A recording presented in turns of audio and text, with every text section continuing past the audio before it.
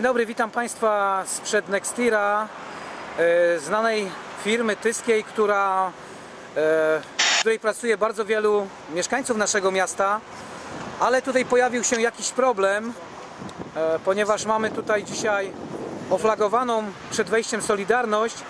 Jest tutaj z nami wiele osób, ale między innymi Pan Sławomir Ciebiera.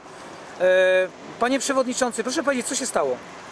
No, dzisiaj było planowane zebranie Regionalnej Sekcji Motoryzacji. Niestety pracodawca twierdząc, że nie ma takiego pomieszczenia, żeby pomieścić tą grupę, nie udzielił pozwolenia na, na wejście na zakład, więc po prostu z tego względu, że nie tracić czasu, bo czas ka- każdego działacza i człowieka każdego jest cenny, więc postanowiliśmy, że tutaj przeprowadzimy to zebranie w ramach sekcji regionalnej przemysłu motoryzacyjnego. Czyli rozumiem, że w ogromnej firmie Nextir nie ma pomieszczenia, że, gdzie może się zmieścić 15 osób, tak? No tak wygląda, tak wygląda, także ym, wierzę w to, że, że, że pracodawca tego, tego, tego, tego miejsca nie ma, ale no tutaj jasno wszyscy interpretujemy, że, że jest to jednak e, na pewno utrudnianie, e, ut- utrudnianie e, no, działalności związku. A czy to zebranie było wcześniej umówione? Było tak, oni tam mają swoje mm, ustalone, ustalone terminy, było powiadomione trzy dni wcześniej. Także myślę, że, że e, szef związku Grzegorz Zmuda e, wykonał to, to wszystko, co do niego należało, no ale, ale decyzja taka, a nie inna pracodawcy. Czy mogę prosić pana Grzegorza Zmudę? Tak, oczywiście. Grzegorz, Grzegorz.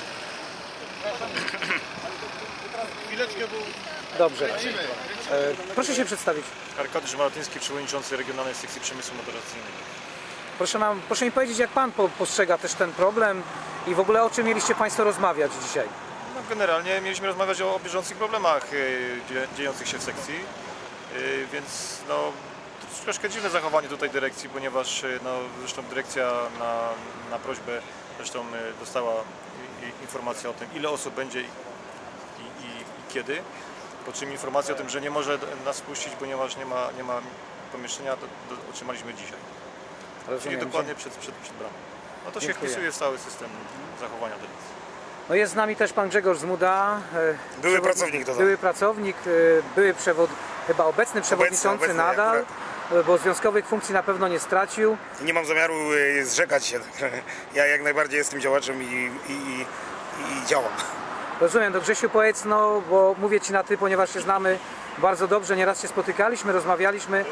Powiedz, jak, e, jak Ty postrzegasz problem i Twoim zdaniem, jak można by go rozwiązać? Ja, ja, ja powiem, że jest mi niezmiernie przykro, mimo że jest to mój były pracodawca, jest mi tym niezmiernie przykro z powodu tego, co się stało.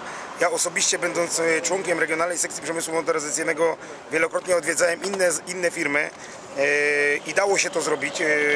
Po prostu sekcje odbywały się w, chociażby w Oplu, czy w Kable Eltra w Mikołowie, po prostu to, to, to było w Fiacie, było to możliwe, do, do, do, że, że było to organizowane. Jest mi przykro, że moim koledzy, jak, jaką jest sekcja, bo my jesteśmy również, wszyscy się doskonale znamy, że, że po prostu, że musiałem tak przywitać i tak ugościć na, na, na, na trawie. No po prostu doświadczę o tym, jak, jak dyrekcja podchodzi do problemu. No, niestety tego dialogu w naszej firmie nie ma, nie ma takiego e, wzajemnej współpracy, która, która mogłaby być owocna i przynosić wspólne z, e, korzyści dla, dla, dla związków, dla, dla pracodawcy. Dziękuję. Przede mną pan Krzysztof Masłowski, również jeden z przewodniczących związków zawodowych.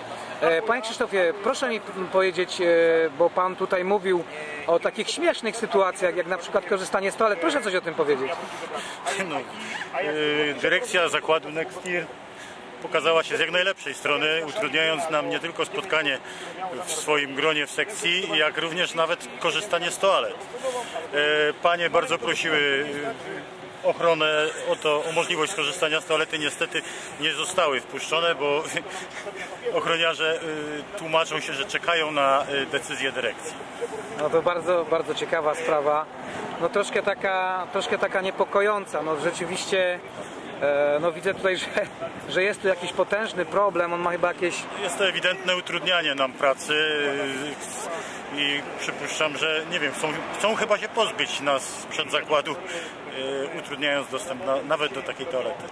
No, dziękuję bardzo. Pan Sławomir Cie- Ciebiera, wiceprzewodniczący regionu Śląsko-Dąbrowskiego. Proszę o krótkie podsumowanie. Pracodawca tu, e, byliśmy wcześniej, zanim, zanim, e, e, zanim zdecydował dyrektor fabryki, że nas nie wpuści, byliśmy, my, byliśmy o godzinie 8 na spotkaniu i pracodawca się tłumaczył ciągle, że, że przewodniczący łamie zasady dialogu. Ja powiem szczerze, że, że dialog z tej strony od pracodawcy wygląda właśnie tak, jak właśnie wygląda, czyli po prostu go nie ma. Tego dialogu nie ma.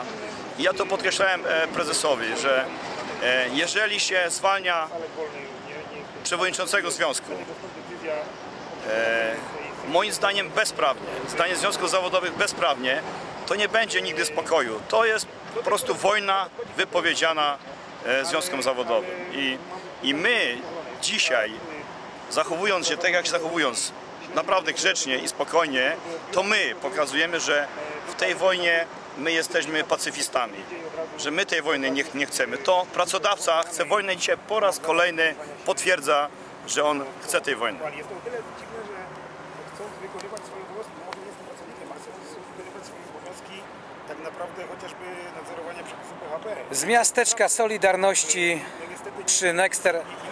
rozmawiał Grzegorz Kołodziejczyk.